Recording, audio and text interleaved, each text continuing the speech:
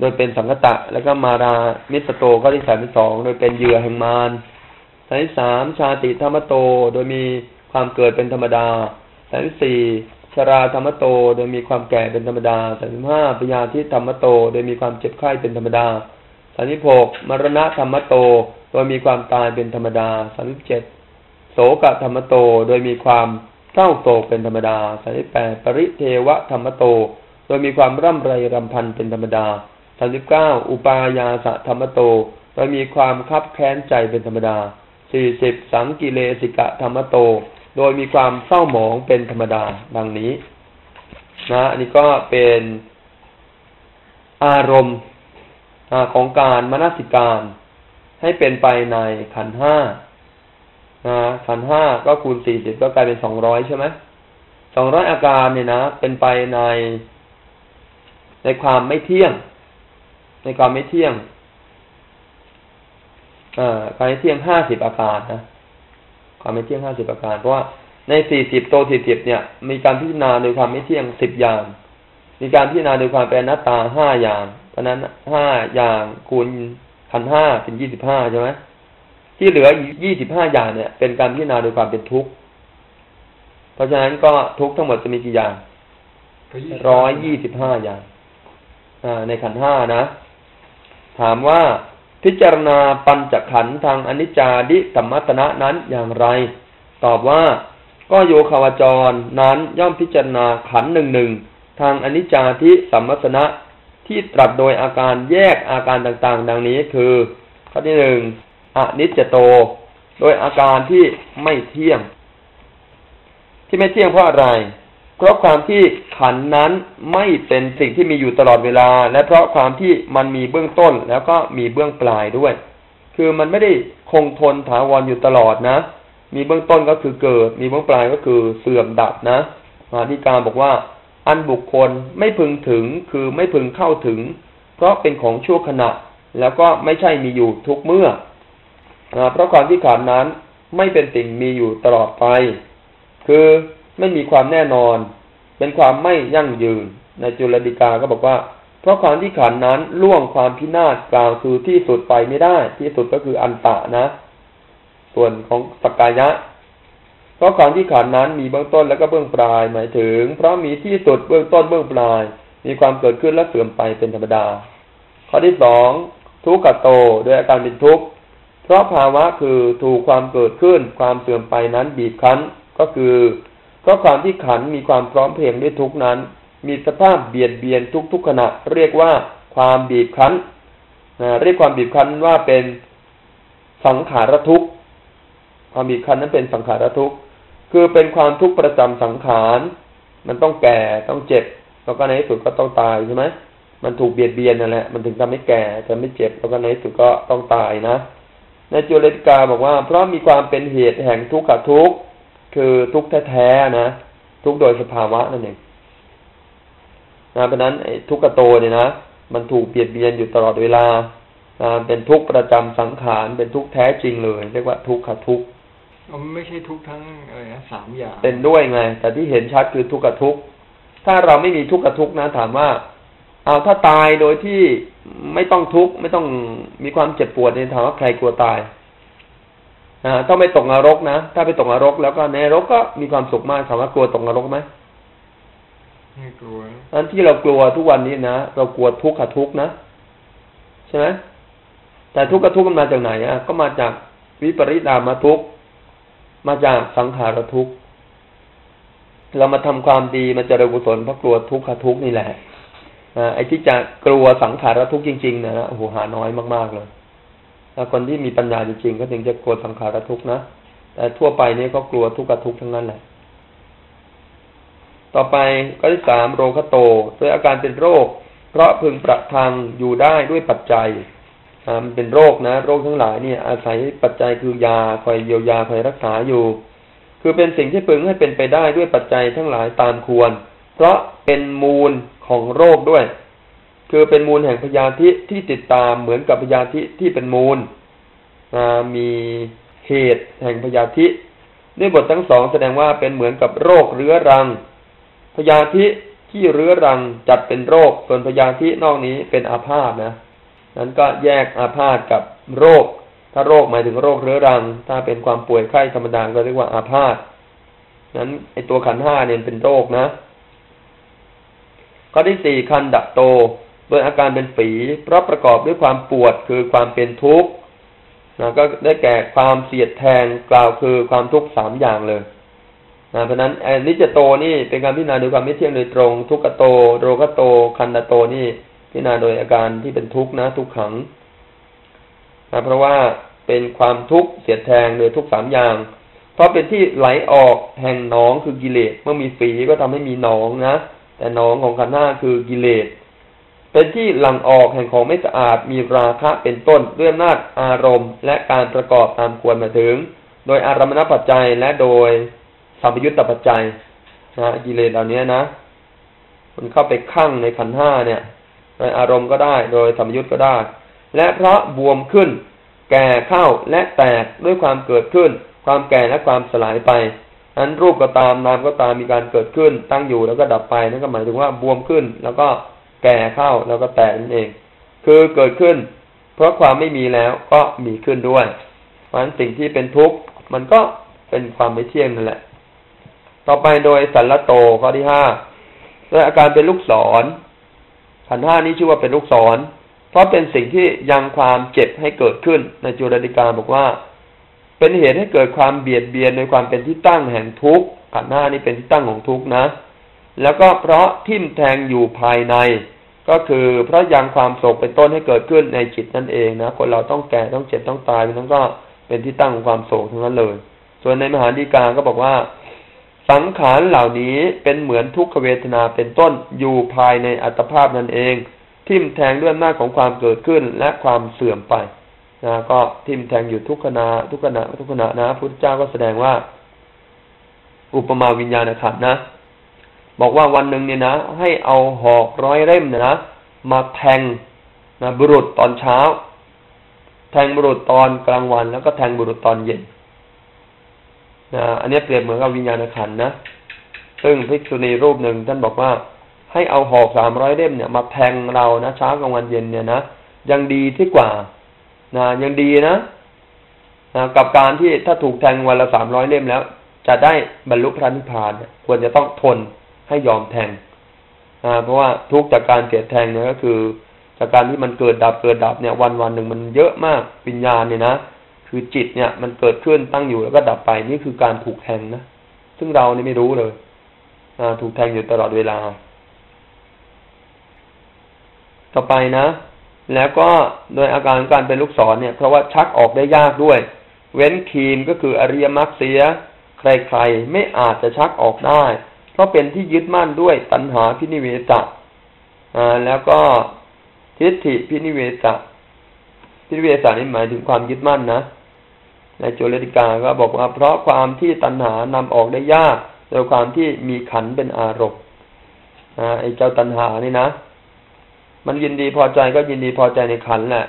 แม้ยินดีในบัญญัติก็เป็นบัญญัติที่มาจากขันเนื่องจากขันนั่นแหละข้อที่หกอาคาโตนี่ก็โดยอาการเป็นทุกข์เหมือนกัน โดยการเป็นของชั่วร้าย เพราะเป็นที่ตั้งแห่งความติดเตียนแห่งอริยชนดีกาขยายว่าเป็นเหมือนของชั่ว อันอริยชนทั้งหลายพึงติเตียนจุลดิกาก็บอกว่าโดยความเป็นของไม่สะอาดด้วยทั้งนามธรรมทั้งรูปธรรมนั้นเป็นของไม่สะอาดทั้งนั้นเลยเพราะเป็นอริวะได้ เพราะนำความไม่งอกงามมาให้ ขันห้านำความไม่เจริญมา เพราะทำให้เกิดความชิบหายแก่สัตว์ โดยความเป็นของมีความเสื่อมเป็นที่ตุด และเพราะเป็นที่ตั้งแห่งความชั่วร้าย คือความเลวร้าย ความต่ำทราม ความเสียหายทุกชนิดมาจากขันห้านะ ถ้าไม่มีขันห้านี่ใครจะมาทำร้ายใครได้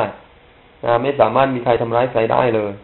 แล้วก็โดยความเป็นเหตุแห่งความชั่วช้าทั้งหลายไม่ว่าเป็นโจรเป็นคนชั่วคนเลวทรามทั้งหลายก็เพราะมีขันห้านั่นเอง ถ้าไม่มีขันห้าก็ไม่มีคนชั่วช้า ไม่มีความเลวทรามทั้งหลาย ข้อที่เจ็ดอาพาทโตอันนี้ก็เป็นอาการของทุกข์นะ การพิจารณาโดยความเป็นทุกข์นั่นแหละ ทุกขานุปัสสนา โดยอาการอาพาธเพราะเป็นสิ่งที่ยังความไม่เป็นเสรีให้เกิดนะอาการอาพาธเนี่ย คนเวลาที่ป่วยไข้นะก็เนื่องโดยคนอื่น เหมือนคนไข้ต้องอาศัยคนอื่นช่วยป้อน และช่วยประคองลุกนั่งเป็นต้นไอ้เจ้าขันห้านี้ต้องอาศัยคนอื่นคอยดูแลตลอดนะต้องอาศัยอาหารอาศัยกรรม อาศัยจิต อาศัยอุตุมาเป็นเครื่องคอยช่วยดูแลนะตอนนั้นก็เป็นอาพาธตลอดเวลานั่นแหละ เพราะเข้าไปยึดถือด้วยความไม่มีอำนาจในตนเองนะฐานะไม่มีอำนาจในตัวเองนะ ต้องอาศัยปัจจัยตลอด และเพราะเป็นเหตุแห่งความเจ็บไข้นะในมหาธิการบอกว่าโรคาพาธทุกชนิดมาจากขันห้ามีได้เพราะขันห้าใครจะเป็นโรคเอดโรคเกาโรคอะไรนะสารพัดนี่ก็ เพราะว่ามีขันห้านั่นแหละที่ทำให้มีโรคเหล่านี้นะถ้ามีแต่รูปขันอย่างเดียวนะ มันก็ไม่มีความกังวลอะไร ไม่มีโรคอะไรมาทำร้ายอะไรได้ เพราะมีนามขันเข้าไปรับรู้ความเจ็บความปวดความทุกข์ทั้งกายทั้งใจก็เกิดขึ้น ต่อไปข้อที่แปดปรโตในอาการเป็นฝ่ายอื่น เพราะไม่อยู่ในอำนาจก็คือใครๆไม่อาจให้เป็นไปในอำนาจ ด้วยความเป็นของงามอของเที่ยงหรือว่าของที่เป็นสุขของที่เป็นอัตตาได้เลยปรโตนี้ประกาศความเป็นอนัตตานะเป็นการพิจารณาโดยความเป็นอนัตตา ในจุลธิการก็บอกว่า เพราะไม่อาจทำให้อยู่ในอำนาจ และเพราะไม่เชื่อฟัง ใครๆไม่อาจจะจัดการด้วยคำว่าเจ้ายาแก่เลยยาตายเลยเป็นต้นนะแล้วก็เพราะไม่สามารถเพื่อจะจัดแจงว่าพวกเจ้าจงเป็นไปอย่างนี้นะก็คือบังคับบัญชาเจ้าคันห้านี้ไม่ได้เลยนะบางครั้งดูเหมือนกับว่าเราบังคับมันได้ เราจะให้มันเดิน เราจะให้มันนั่ง เราจะให้มันยักคิ้วหรือตา แต่ว่าอันนั้นมันเป็นไปตามปัจจัย แล้วก็ตัวจิตเป็นปัจจัยต่างหากจึงทำให้มีอาการเหล่านั้น ไม่ได้มีเรามีอำนาจบังคับบัญชาตรงไหนเลยนะถ้าหมดปัจจัย เช่นเป็นอัมพาตอยากจะให้ลุกขึ้นยืนเดินนั่งนอนมันก็ลุกขึ้นไม่ได้แล้วก็นอนอย่างเดียวนั่นแหละปรโตนี้เป็นการประกาศอนัตตานะอนัตตานุปัสสนา ข้อที่เก้าปโลกโตโดยอาการแตกสลาย เพราะพังไปด้วยพยาธิชราและมรณะ เพราะขาดไปพินาศไปชิบหายไปอย่างยิ่งด้วยประการทั้งหลายมีพยาธิเป็นต้นนะปโลกตนี้ก็แปลว่าแตกสลายนะโลกานี้แปลว่าแตกอยู่แล้ว ปะ แปลว่าแตกทั่วเลยนะขันห้านี่เป็นการแตกสลายเป็นการแตกทั่วถึงเลยนะ ทั้งรูปเวทนาสัญญาทั้งขันวิญญาณ เข้าไปยึดอยู่ก็ต้องเดือดร้อนแน่ๆข้อที่สิบอีติโต โดยอาการเป็นจันไรพระนำความโชคร้ายมาให้เป็นอเนกนะใครที่มีขันห้านี่โชคร้ายนะ แต่ก็ยินดีในการที่จะมีกัน ในมหาธิกาบอกว่ามาถึงด้วยภาวะนำมาซึ่งความชิบหาย อีตินี้เป็นชื่อแห่งความชิบหาย อันเป็นไปในฝ่ายอากุศลที่จรมาขันทั้งหลายก็เป็นเช่นนี้ความชั่วร้ายทั้งหลายเกิดจากบาปกรรมนะขันห้านี้ก็เกิดจากบาปกรรมเหมือนกันก็เพราะว่ามีอวิชชา มีตัณหา จึงเป็นปัจจัยให้ทำกรรม ทั้งกรรมดีกรรมชั่ว จึงเป็นปัจจัยทำให้เกิดขันห้าจุลดิกาบอกว่าธรรมชาติใดย่อมนำมาซึ่งความเลวทราม ธรรมชาตินั้นชื่อว่าความเสนียดจันไร ได้แก่เหตุแห่งความย่อยยับโดยประการทั้งปวง นั้นอีติโตนี้ก็คือโดยความจันไรนะส่วนปโลกโตนะเป็นการแสดงความไม่เที่ยงนะอิติโตนี้แสดงอาการเป็นทุกข์อะไรนะ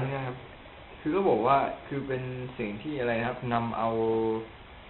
นำเอายักชักเอากุศลมาหรือไงครับ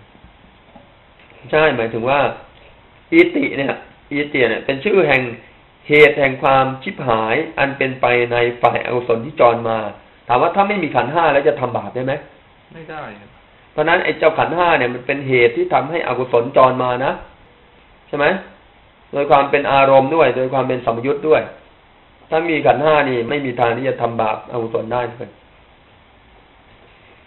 ข้อที่สิบเอ็ดอุปัตถวะโต โดยอาการเป็นอุบาท เพราะเป็นที่ตั้งแห่งความอุบาททั้งปวง เหตุนำมาซึ่งอนัตตผลใหญ่ๆก็คือสิ่งที่ไม่เป็นประโยชน์เกื้อกูลนะ ที่ไม่รู้ด้วย คือไม่ได้คาดคิดไว้เลยนะใครจะคาดคิดนะว่าเราจะแก่เร็วขนาดนี้ ใช่ไหมใครจะคาดคิดว่าเราจะตายในวันคืนวันพรุ่ง ใครจะรู้นะโรคร้ายจะเกิดขึ้นกับเรา ใครก็รู้ไม่ได้เพราะนั้นถ้ามีขันห้าแล้วขันห้ามันก็นำมาในสิ่งที่ไม่เป็นประโยชน์ต่างๆ ที่เราก็คาดคิดไม่ได้ด้วย มาธิการอธิบายว่าชื่อว่าอุบาท เพราะย่อมเข้าไปเบียดเบียน ยังความชิบหายให้เกิด ครอบงำท่วมทับ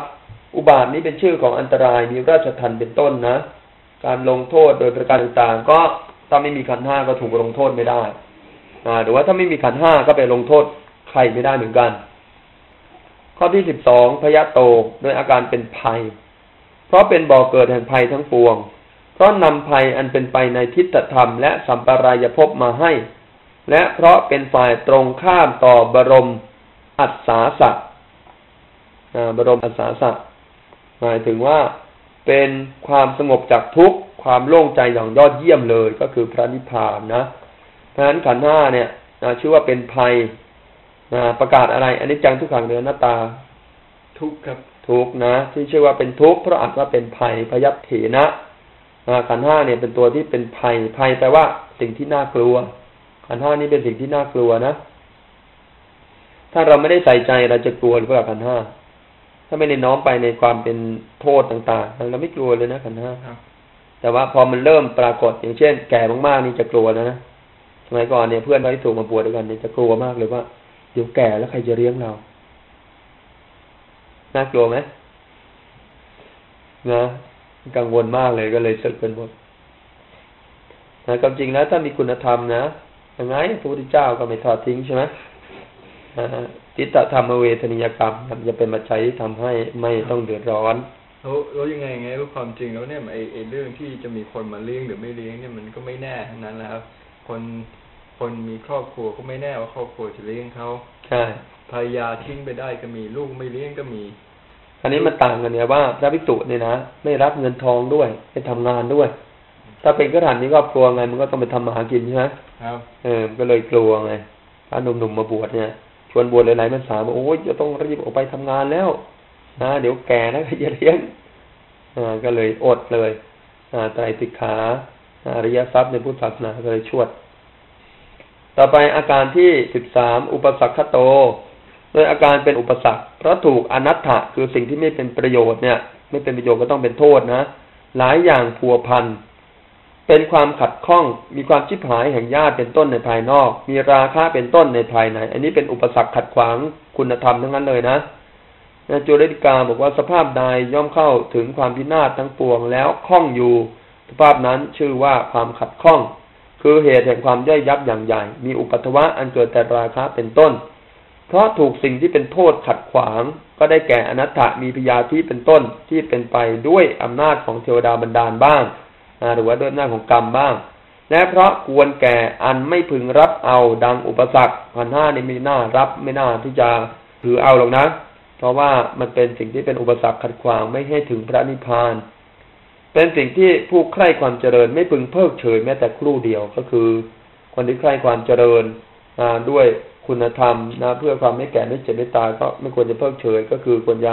พิจารณาใส่ใจเจ้าขันห้านี้ โดยความเป็นอุปสรรคโดยความเป็นสิ่งที่ขัดขวางอุปสรรคนี้เป็นชื่อของทุกขานุปัสสนานะการพิจารณาโดยความเป็นทุกข์ข้อที่สิบสี่จระโต ด้วยอาการไหว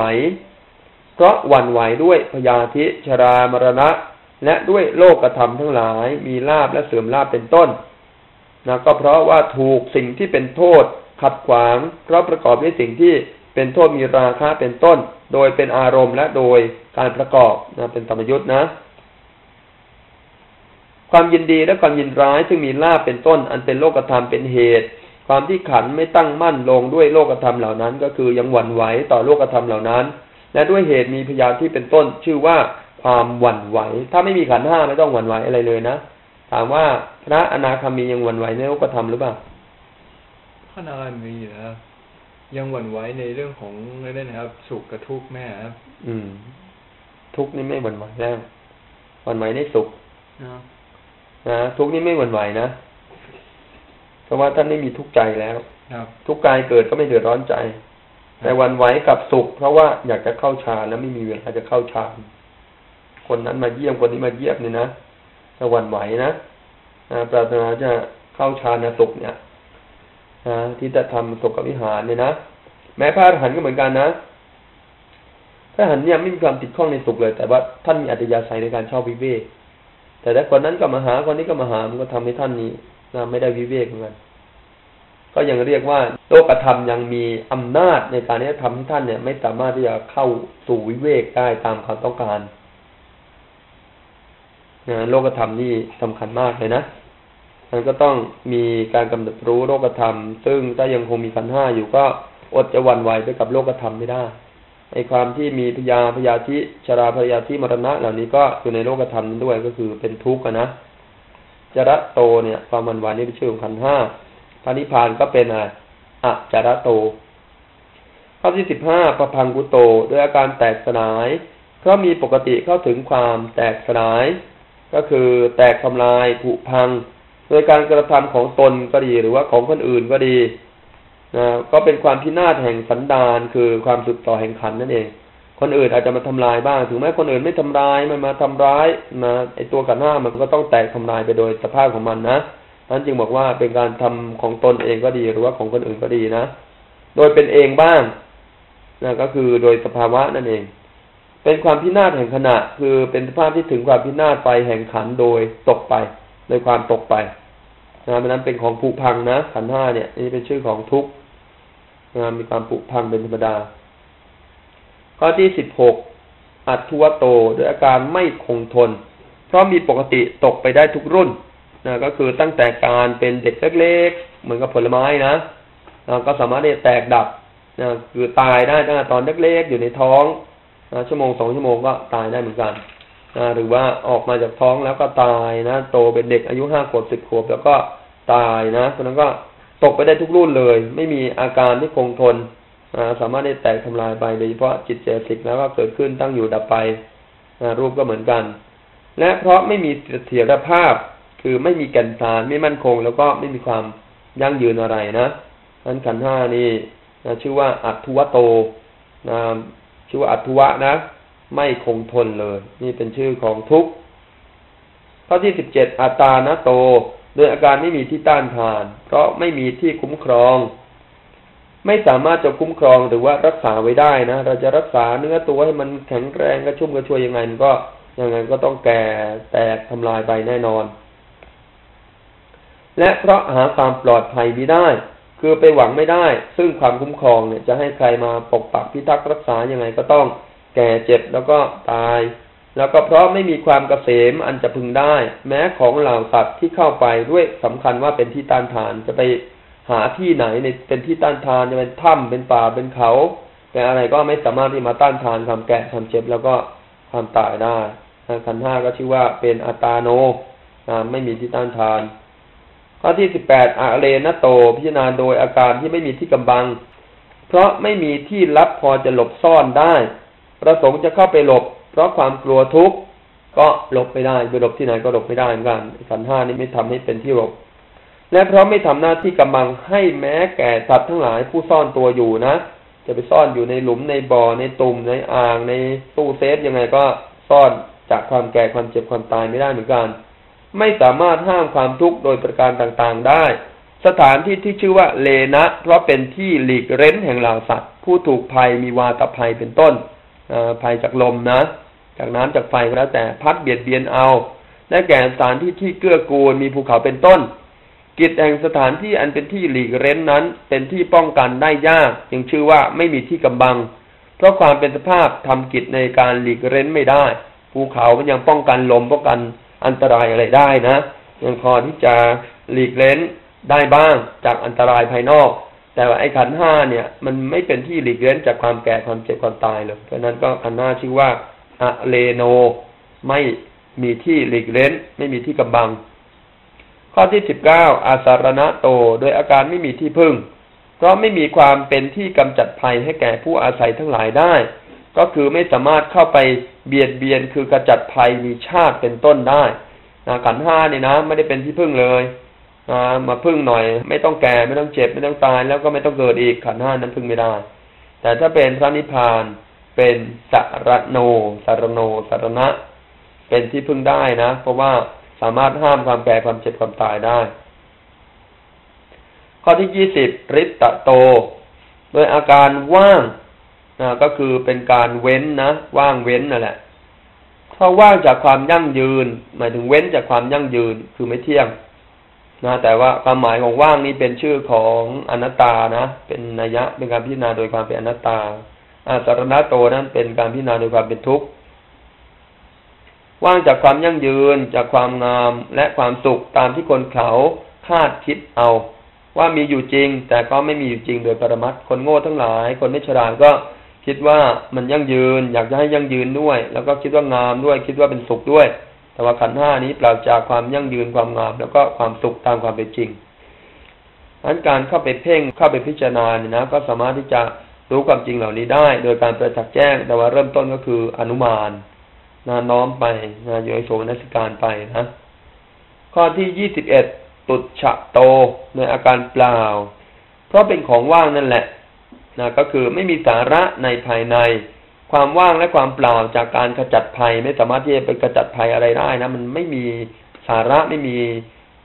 ไม่มีตัวอะไร หรือไม่มีสิ่งใดที่จะไปกระจัดภัยได้นั่นก็เรียกว่าความว่าง และจากการยังภัยให้เล่นออกไป หรือว่าเพราะความเป็นของเล็กน้อยก็ได้นะขันห้านี่ชื่อว่าเป็นของเล็กน้อยนะด้วยว่าแม้ของเล็กน้อยเขาก็เรียกว่าของเปล่าได้ในโลกเหมือนกันนะตุจโตนี้เป็นความ เปล่าไอ้ที่เปล่าก็เพราะว่ามันว่างนั่นแหละ เพราะว่าเป็นของต่ำซามของเล็กน้อยเหล่านี้ก็เรียกว่าของเปล่าได้เพราะว่ามันต่ำซามแล้วก็เป็นปริยาย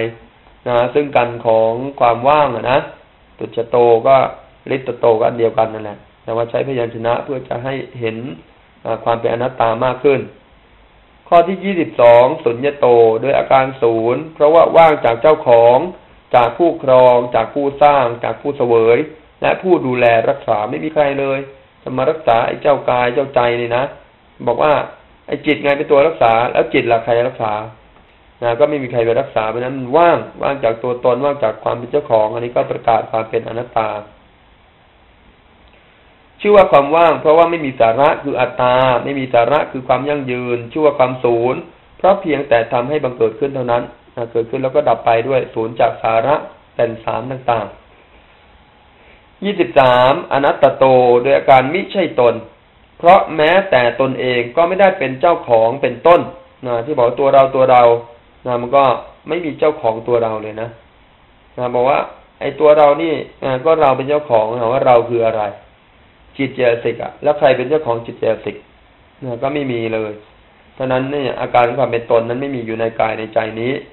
ตนแม้อันเป็นที่อาศัยแห่งขันก็ไม่มีจึงกล่าวว่า แม้ตนเองก็ไม่ได้เป็นเจ้าของนะนี่โดยความเป็นอนัตตานะยี่สิบสี่อาทีนวัตโต โดยอาการเป็นอาทีนบเพราะเป็นประวัติทุกอาทีนบหมายถึงโทษนะ ประวัติทุกก็หมายถึงทุกนะโดยที่มันเป็นไปแหละ หมายถึงว่าจะต้องแก่ต้องเจ็บแล้วก็ต้องตายนะ และเพราะความที่ทุกข์เป็นตัวโทษนะเมื่อมีทุกข์ทุกข์นั่นแหละเป็นตัวโทษ โทษเรียกว่าอาทีนวะ ตามที่พระเจ้าแสดงว่าพระเจ้าตรัสว่าดูก่อนไม่ฝืนหลาย อุปาทานขันห้าไม่เที่ยง เป็นทุกข์มีอันแปรไปเป็นธรรมดาอันใด อันนี้เป็นโทษในอุปาทานขันห้าก็คืออาทีนวะนะ ในจุลติกาก็แสดงว่า เพราะความที่ทุกข์เป็นตัวประกอบด้วยโทษ มีความไม่เที่ยงเป็นต้นไอ้ทุกโทษความไม่เที่ยงมันเป็นอันเดียวกันนั่นแหละ อันเดียวกันแหละ ความทุกข์ความไม่เที่ยงนะ แสดงอาการออกมาก็คือโดยความเป็นโทษ อีกในหนึ่งบุคคลใดย่อมไปสู่ความเข็นใจ ย่อมถึงซึ่งความเข็นใจ ความเข็นใจย่อมเป็นไปแก่บุคคลใด เหตุนี้บุคคลนั้นก็ชื่อว่าอาทีนวะคำว่าอาทีนวะนั่นเป็นคำเรียกคนเข็นใจนะคนยากจนเข็นใจทั้งหลายเนี่ยเรียกว่าเป็นคนที่มีโทษ แม้ขันห้าทั้งหลายเล่าก็เป็นสภาพเข็นใจแท้ เหตุนั้นจึงกล่าวได้ว่า โดยอาการเป็นอาทีนบ เพราะเป็นเช่นกับคนเข็นใจ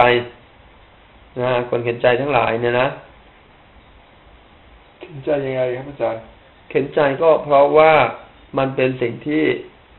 ไม่เต็มบริบูรณ์ธรรมะไอ้คนยากจนทั้งหลายนี่นะมันดีใจมันพอใจมันอิ่มเอมไม่ต้องการอะไรจากใครหรือว่าต้องการตลอด ต้องการตลอดแล้วขันห้านี้ต้องการตลอดหรือเปล่าต้องต้องการปัจจัย